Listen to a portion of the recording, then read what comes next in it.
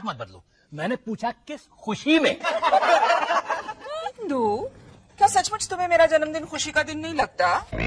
अच्छा माया एक बात बताओ। जब तुम पैदा हुई थी तब हुई थी? ऑफ़ कोर्स जब तुम खुद अपने पैदा होने पे रोई थी कि भगवान मैं क्यों पैदा हो गई?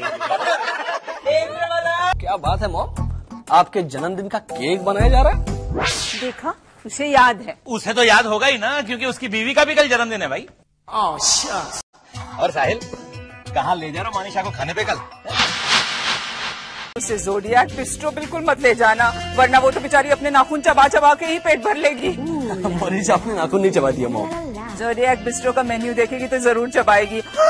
Mineral water hundred and ten rupees अरे तो तुम क्यों बुरा मान रहे हो? आई एम जस्ट जोकिंग एक थाली के साथ दूसरी थाली फ्री हाँ सिर्फ़ ढाई सौ रूपए में अनलिमिटेड खाना। दो फरसान और दो मिठाई के साथ। और बाद में मसाला सफारी भी फ्री ठीक है स्वीट लेकिन यू नो मैं ये सोच रहा था कि तुम्हें स्पेनिश बुफे खिलाऊं हँसी अंडा में। फूफे छी पकवान पचास मगर प्लेट इतनी सी। चौथी बार ले जाओ तो लोग घूरते हैं पता इससे तो थाली कितनी अच्छी।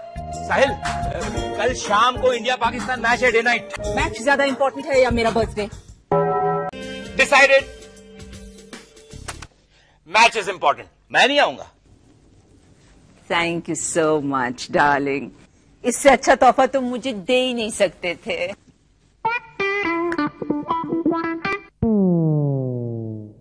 मेरा गिफ्ट कहाँ है? मैंने तुम्हारे लिए कविता लिखी है। कविता छोड़ गिफ्ट कहाँ है? कविता ही गिफ्ट है इंद्रवदा। इसमें रोसेश ने अपनी सारी फीलिंग्स छुपा के रखी हैं। तो कविता को भी छुपा के रखता? अब ये पढ़ेगा और हमें सुननी पड़ेगी उसका क्या? Oh. सुनाओ बेटा हम सुनेंगे।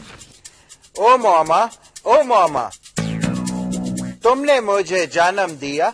ओ मामा ओ मामा सबसे अच्छा कर्म किया। ओ मामा ओ मामा आकाश वाह वाह वाह वाह मेरे भारत रत्न। अरे साहिल वो प्रॉब्लम सॉल्व हो गया ना? कौन सा प्रॉब्लम हैं? तुम्हें बताया नहीं इसने? अरे मोनिशा के पास लंच के ही कूपन है। इसका मतलब अपने आप सारी बला टल गई। अब देखो ना बीवी के साथ लंच और माँ के साथ dinner and they all live happily ever after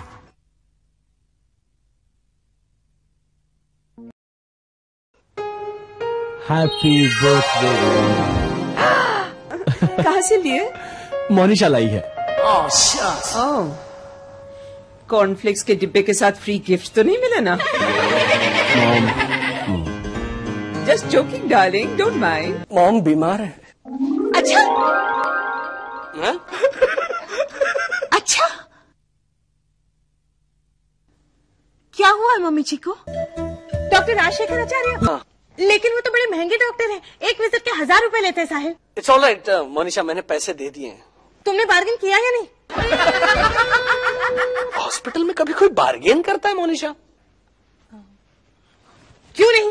तुमने हॉस्पिटल में कभी देखा है? फिक्स रेट का बोर्ड अरे वाह बहुत साफ़ कॉपी है। लगता है दो रुपए वाली जेरोक्स है नहीं? अरे पढ़ो तो सही क्या लिखा है। दादी जी आपने मम्मी जी को रोका नहीं? मैंने लाख रोकने की कोशिश की मोनिशा लेकिन मेरी बात को मज़ाक समझ के यूँ यूँ किया। और चल बसी।